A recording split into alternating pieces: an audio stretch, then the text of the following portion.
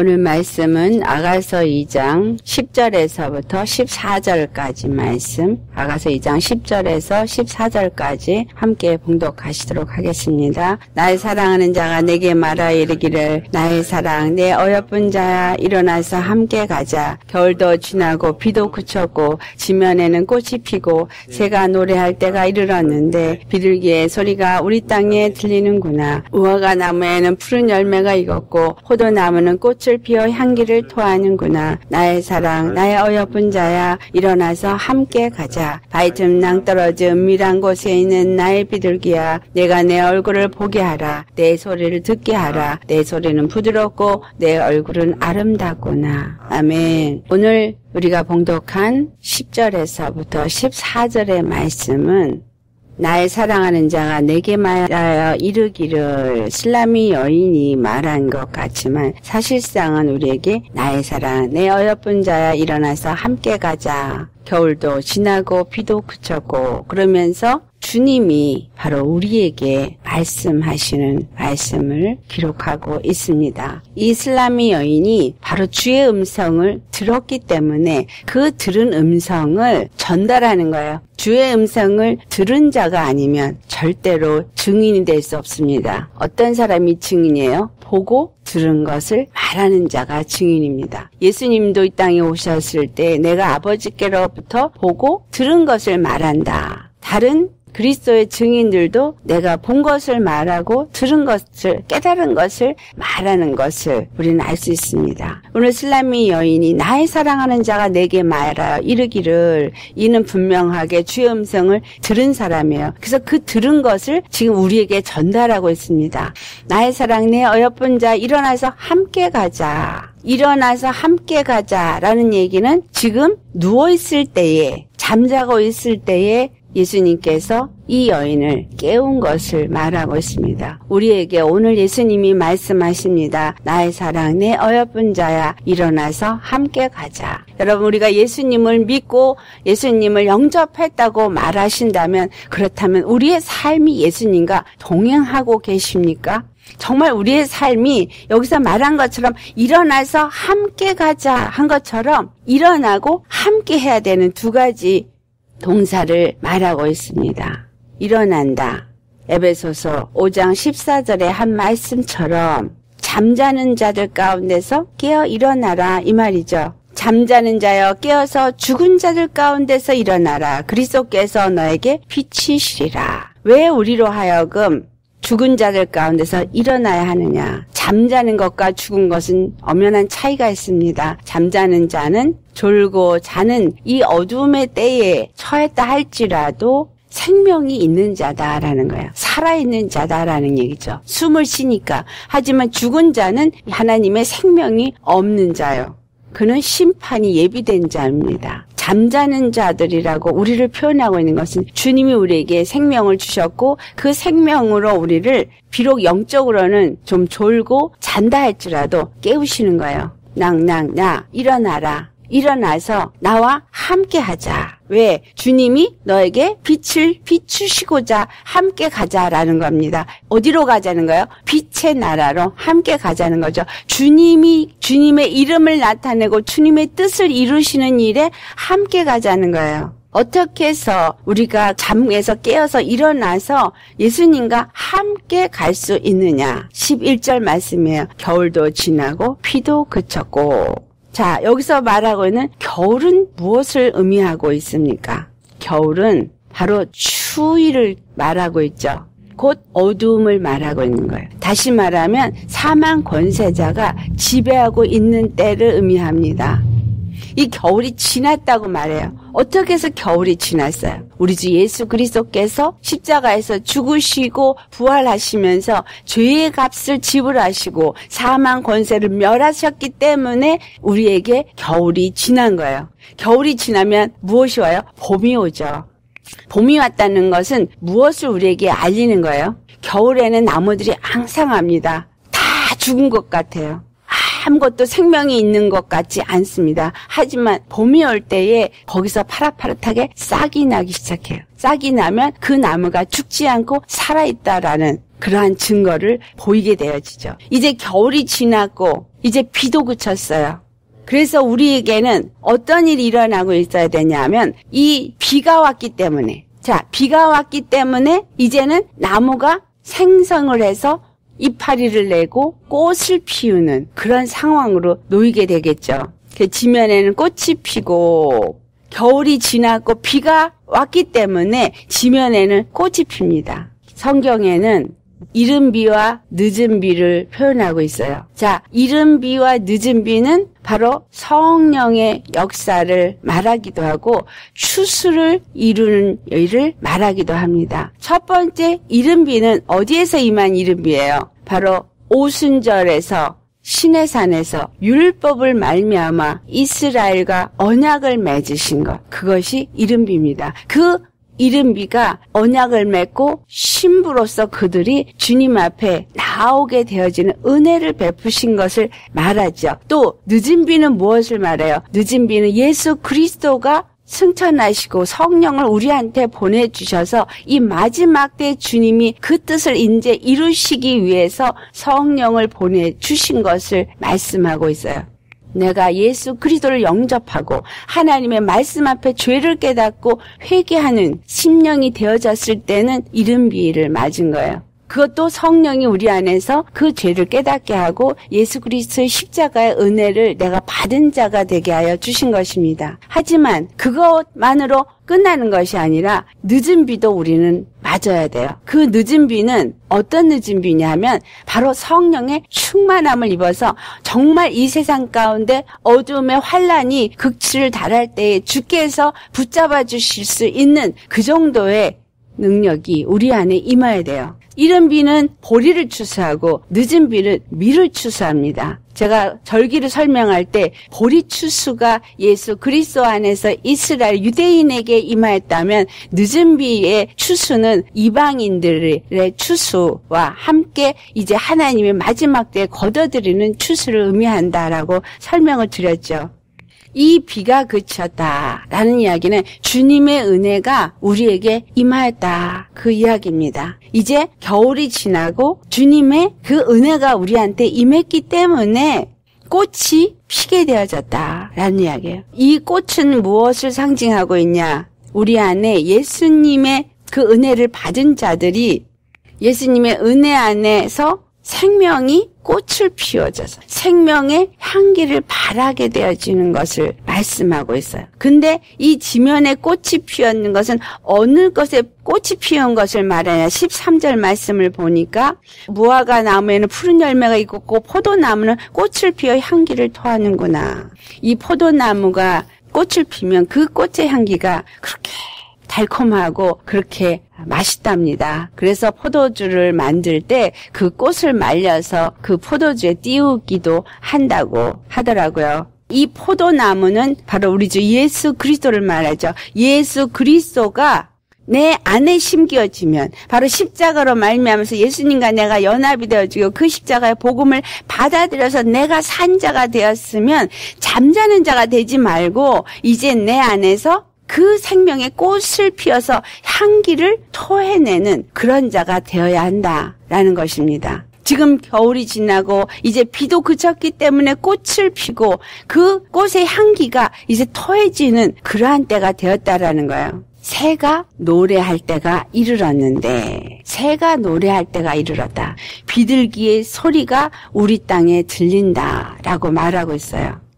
새가 노래를 한다라는 이야기는 비둘기가 새로 표현되어질 수도 있고 또 새와 비둘기를 믿는 자들을 주님께서 그런 식으로 또 기록하게 한 거라고 우리는 말할 수도 있습니다. 그런데 왜 여기서 새가 노래를 부르고 비둘기가 소리를 내서 그 소리를 우리로 하여금 듣게 하는가? 예레미야서 8장 7절을 보면은 산비둘기와 제비와 두루미는 그들이 울 때를 지킨다고 말하고 있어요. 언제를 안다고요? 그들이 울 때를 지킨다고. 그들이 정한 시기를 알고 울 때를 안되는 거예요.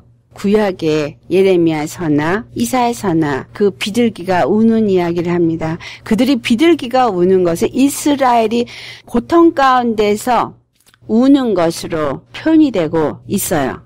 시편 35편 10절을 보면 여호와의 속량함을 받은 자들이 돌아오되 노래하며 시온에 이르러 그들의 머리 위에 영영이 희락을 띠고 기쁨과 즐거움을 얻으리니 슬픔과 탄식이 사라지리로다 라는 말을 해요. 자, 새가 노래를 하는 것은 새가 슬피 우는 죄 가운데서 구속함을 얻고자 고통 가운데서 슬피 울다가 그 새가 죄에서 속량함을 얻게 되어졌을 때 기뻐서 운다. 그래서 새가 소리를 낼 때는 두 가지의 소리가 있겠죠. 하나는 고통 가운데 탄식의 소리요. 다른 하나는 기뻐서 찬송하는 노래의 소리요. 우리가 어떨 때 예수님을 만나서 노래할 수 있느냐라는 이야기를 합니다. 정말 겨울이 지나고 비가 그쳐서 이제 꽃이 피고 향기를 바라는 그때가 되었다 할지라도 새는 자기가 울어야 될 때를 알고 그 울음을 우는데 주의 백성들은 예레미야 8장 7절이에요. 하나님의 규례를 알지 못해서 하나님 앞에 부르짖고 회개하며 기도하지도 못한다라는 이야기죠. 시편 107편 10절 11절 말씀. 사람들이 흑암과 공고와 쇠사슬에 앉으면 하나님의 말씀을 거역하고 지전자의 뜻을 멸시했기 때문이다라고 말합니다. 여호와의 규례, 여호와의 계명이 말하고자 하는 것이 무엇인지를 그들이 알지 못한다는 거예요. 우리가 오늘날 예수님을 믿으면서 정말 예수님을 잘 섬기고 신앙생활을 잘 하고 있다고 생각할 수 있습니다. 하지만 주님이 율법을 이스라엘 백성에게 준 것은 하나님만이 참 구원의 하나님이 되시고 하나님만이 그들의 섬김의 대상이 되는 단 한 분 하나님이심을 알게 하고자 하심이에요. 우리에게 예수 그리스도의 십자가를 주신 것은 예수 그리스도의 십자가 외에는 다른 구원의 이름이 없다라는 것을 알게 하시고 오직 예수 그리스도의 십자가만을 붙잡고 그 십자가 안에 거하는 그 은혜와 사랑 안에 거하는 자가 되게 하기 위해서 주신 겁니다. 근데 그 하나님의 뜻, 그 윤례와 계명을 주신 그 뜻을 알지 못하고 어떤 사역에 열심을 내고 하나님이 시키신 일이니까 그것에 열심을 내면 구원이 있다고 생각하고 교회에 열심을 내는 신앙생활을 하는 자가 되었지만 내 영혼이 왜 답답하고 왜 내 영혼이 컬컬하고 왜 만족하지 못하느냐? 왜 새가 노래를 부르는 것처럼 노래를 부르지 못하느냐? 왜 기뻐 노래하지 못하느냐? 그것은 은혜를 머리로는 아는데 그리고 오랜 신앙 생활을 하면서 어떤 교회 열심을 내고 봉사를 열심히 하고 주의 일을 열심히는 했는데 정작 예수 그리스도 십자가의 은혜에서는 떨어진 자가 되었기 때문입니다. 예수 그리스도의 십자가의 사랑이 내 안에서 감동으로 역사되어지지 않고 있기 때문인 거예요. 그래서 그 윤례를 온전히 알지 못해서 정말 주님 앞에 제대로 부르짖을 힘도 없어요.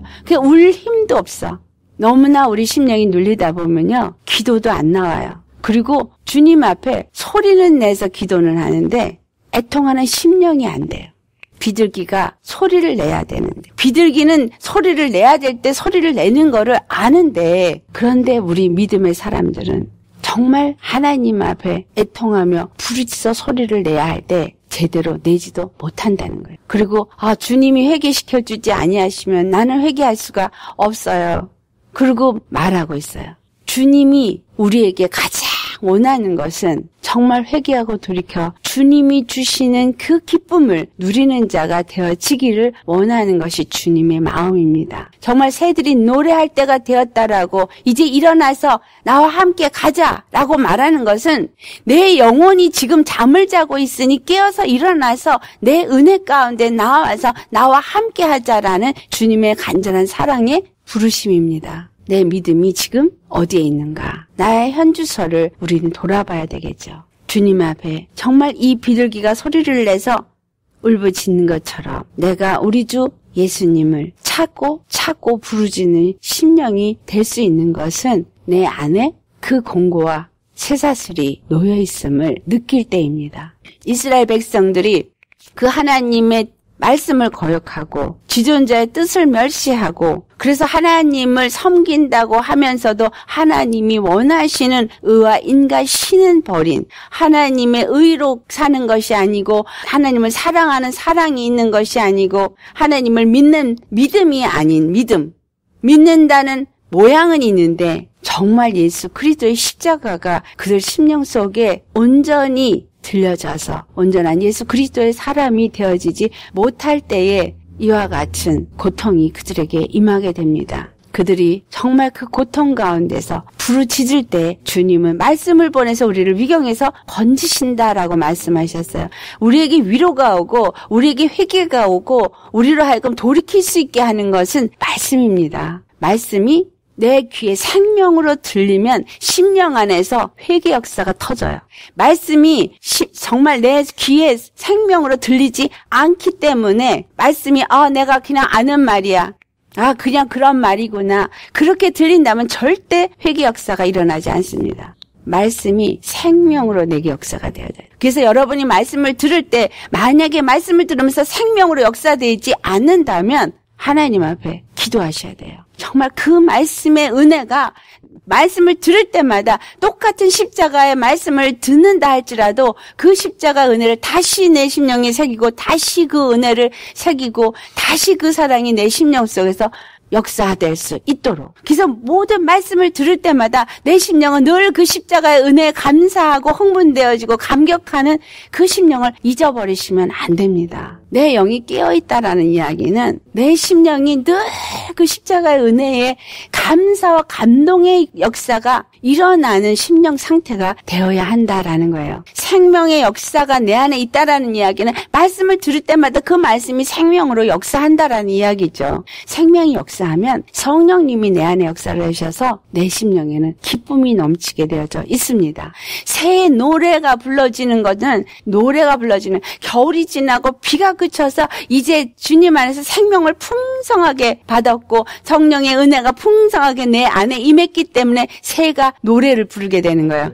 꽃이 피어지기 때문에 내 삶에서 생명의 향기가 나타날 수 있게 되어졌기 때문에 노래가 나오는 것입니다. 그렇지 않다면 절대로 노래가 나올 수가 없지요. 정말 비둘기의 소리가 우리 땅에 들리는구나. 우리가 예수님 앞에 자가의 은혜를 알고 그 온유한 심령이 되어져서 그 사랑에 감사해서 기쁨의 소리를 내는 것을 말하고 있어요. 구구구구구 비둘기가 소리를 내는 것은 바로 예수 그리스도를 찬양하고 예수 그리스도의 은혜를 외치는 자가 되어지는 것입니다. 내가 예수님의 은혜를 받았습니까? 그렇다면 그 은혜 받은 사람은 입을 다물고 잠잠히 있을 수가 없어요. 그 은혜를 자랑할 수밖에 없어요. 내 안에 은혜가 없으면서 내 안에 정말 그 사랑이 감동이 뜨겁게 역사하지 않으면서 예수님은 당신을 사랑합니다라고 말하면 그게 듣는 사람에게 생명으로 역사할까요? 안 합니다. 정말 내가 예수님의 사랑을 아는 것은 지식이 되어져 있고 과거형이 되어져 있으면 지금 내가 아무리 예수를 증거한다 할지라도 그 증거는 힘이 없어요. 생명력이 없어요. 그러면 똑같이 듣는 사람들도 지식으로 듣습니다. 우리 굉장히 중요하게 알아야 될 말씀이에요. 말씀을 전하시는 분들, 가르치시는 분들, 특히 이런 분들은 내 심령 안에서 매일 그 은혜와 사랑이 살아 역사될 때 말씀을 전하셔야 합니다. 안 그러면 지식으로 전하게 되어져서 듣는 이도 지식으로 받아서 그 사람도 똑같이 말씀은 알되 머리로는 알라서 머리는 커지지만 심령은 전혀 통해하거나 애통하거나 회개하는 심령이 되어지지 않습니다. 예수님의 심령에 우리가 정말 들어가서 그 심령에 생명의 꽃이 피어나서 내 입을 열 때마다 그 생명이 동해져서 그 꽃의 향기가 우리 입에서부터 흘러나와야 합니다. 주님 안에서 정말 무화과 나무에는 푸른 열매가 익었고 포도나무는 꽃을 피워 향기를 토하는구나. 아직 열매를 맺은 상태는 아니죠. 아직 주님이 오실 때는 아닌 거예요. 추수 때는 아직 안 되었어요. 하지만 나의 사랑, 나의 어여쁜 자, 일어나서 함께 가자. 왜냐하면 주님 오실 때가 지금 가까이 오고 있는 사인이 보여지고 있기 때문에 일어나서 함께 가자라고 하는 거예요. 무화과 나무에 푸른 열매가 익었고 라는 말로 되어져 있지만 무화과 나무가 이른 열매를 맺었다라고 원어적으로는 되어져 있습니다. 푸른 열매가 익은 게 아니에요. 아직 익지 않았어요. 푸른 열매가 지금 맺혀졌어요. 이제 그게 익어야 되어져요. 익어있고 터쳐져야지 돼요. 무화과가 그 단맛을 완전히 내려면 그 안에서 엑기스가 터쳐져야지 돼요. 그래서 그 무화과가 아주 단맛을 내도록 일부러 바늘로 찔러서 터트린다고 합니다. 푸른 열매가 익어서 터쳐져야 완전히 정말 그 단맛을 내는 무화과 열매가 되어질 수 있습니다. 우리 심령이 이제 우리 안에서 예수님을 만나서 그 생명이 우리 안에서 푸릇푸릇 생겼으면 이제 자라나야 돼요. 자라나서 생명이 충만해져야 돼요. 어디까지? 그리스도의 장성현 분량이 충만한 데까지 자라나고 지식에까지 새로워져야 돼요. 그래서 주님 안에서 은혜를 받고 주님의 일을 하는 사람일수록 더 말씀을 사모하며 그 말씀을 주야로 묵상하고 주님을 향해서 나아가는 심령이 되셔야 하는 거예요. 이 말씀을 사모하며 말씀을 정말 주야로 묵상하며 말씀 안에 거하지 않으면 언제 내가 믿음 안에서 떨어졌는지 알 수가 없어요. 그냥 알 수도 없게 그냥 습관화된 신앙이 되어져 버려요. 매일 말씀을 받고 그 매일 말씀 앞에서 예수님의 은혜를 깨닫고 그 예수님과의 만남이 있고 그것을 계속하게 될 때에는 우리가 다른 생각을 할 수 있는 틈이 없이 주의 말씀을 묵상하게 됩니다. 아침에 예배를 드리며 주의 말씀을 묵상하는 이유는 주의 말씀을 받는 이유는 그 말씀을 받은 대로 하루 종일 그 말씀을 묵상하며 예수님의 은혜를 내 안에 되새기게 하기 위함입니다. 그럴 때 은혜 안에서 떨어지지 않아요. 그렇지 않고 뭔가 사역이라는 이름으로 주의 일을 한다는 그런 생각 안에서 어떤 일을 하다가 보면 일을 하는 거에 치우치고 예수님의 은혜에게서는 떨어진 자가 되어집니다. 우리가 푸른 열매가 익은 거에서 끝나면 안 돼요. 꽃을 피워 향기를 내는 것에서 끝나면 안 돼요. 반드시 우리는 주님과 함께 동행하면서 자라나야 합니다. 나의 사랑, 나의 어여쁜 자 일어나서 함께 가자. 주님과 함께 그 말씀을 날마다 날마다 매일매일 먹으면서 그 말씀 안에서 주님과 교제하고 주님의 은혜를 더 깨닫고 그 사랑을 더 알아가면서 나아가는 자가 되셔야 한다라는 거예요. 아멘?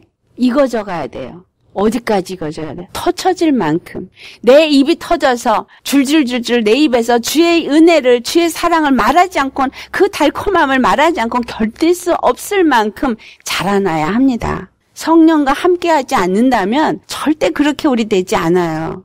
말씀을 듣고 알 때 지식은 커질 수 있어요. 그래서 아는 것을 말할 수는 있죠. 하지만 아는 것을 말한다고 생명 있는 말을 전하는 것은 아닙니다. 생명 있는 말을 전하기 위해서는 매일 내 안에 은혜가 살아 역사되어야 합니다. 이것이 우리가 실패할 수 있는 아주 중요한 키죠. 믿음 안에서 열심을 내는 거가 다른 그 어느 것이 아니라 말씀에 열심을 내시는 것. 말씀을 더 묵상하고 주님의 그 말씀의 은혜를 알아가고 주님과 함께 교제하는 이거에 열심을 내셔야 한다라는 거예요. 그러다 보면 나는 죽고 예수님이 내 안에서 살아 역사되어져요. 내 심령 안에서 말씀이 역사되어지고 은혜가 역사되어지고 성령이 역사되어져서 나는 기뻐지고 나는 노래하는 자가 되어지고 내게서는 예수님이 그냥 증거가 되어지는 증인이 되게 되어집니다. 무엇을 내가 준비해서 내가 무엇을 많이 알아서 주의 말씀을 전한다면 그것은 지식은 잘 전할 수 있어요. 하지만 생명은 없습니다. 주님이 원하시는 것은 지식을 전하는 걸 원하는 게 아니에요. 예수님이 십자가의 사랑을 전하기를 원하는 예수님이 십자가의 은혜를 전하기를 원하는 거죠. 하나님의 구원을 전하기를 원하는데 내 안에서 내가 그것을 누리지 못하면서 어떻게 말만 할 수 있겠느냐. 과거형도 안 돼요. 미래형도 안 돼요. 항상 우리는 하나님이 항상 현재인 것처럼 우리도 예수님 안에서 항상 현재형이어야 합니다. 14절 말씀 발틈 낭떠러지 은밀한 곳에 있는 나의 비둘기야. 내가 내 얼굴을 보게 하라. 내 소리를 듣게 하라. 자 바이틈 낭떠러지 은밀한 곳에 숨어 있다고 말하고 있어요. 그 얼굴을 가리우고 숨어 있어요. 왜? 왜 비둘기가 이 얼굴을 가리고 숨어서 있는데 특히 또 바이틈 낭떠러지의 은밀한 곳에 숨어 있느냐 이거죠. 예수님 앞에 그 얼굴을 가리우는 것은 죄 때문이죠 그 죄가 하나님과 우리 사이의 얼굴을 가리웁니다. 이 바위 낭떠러지에 있는 자가 누구냐? 오바자 1장 3절을 보면은 에돔 족속을 향해서 말합니다. 너의 마음에 교만이 너를 속였도다. 바위 틈에 거주하며 높은 곳에 사는 자여 내 마음에 이르기를 누가 능히 나를 땅에 끌어내리겠느냐. 여호와 하나님의 백성으로 부르심을 받은 자이지만 그러나 그 십자가의 사랑에 엎드려진 십자가 연합된 믿음의 사람이 되지 못하고 내가 무엇인가 잘 하고 있다고 영적인 교만으로 바위 위에 올라가서 거하는 자가 되어진 거예요. 바위 틈에 거한다는 얘기는 에돔 족속이 있는 그 성이 바위와 바위 틈으로 1마일을 가야 돼요.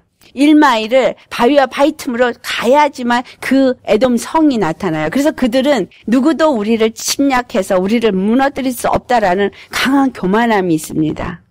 왜냐하면 그 바위 틈으로 그 무너뜨리러 올 때 바위를 던져서 다 죽여버리기 때문에 이길 수 있거든요. 이 바위 틈에 올라앉은 자들이 바로 세상에서 부귀와 영화를 누리는 교만한 자들이에요. 계시록 6장 15절에서 16절을 보면 땅의 임금들과 왕족들과 장군들과 부자들과 강한 자들과 모든 종과 자유인이 굴과 산들의 바위 틈에 숨어 이렇게 말하고 있어요.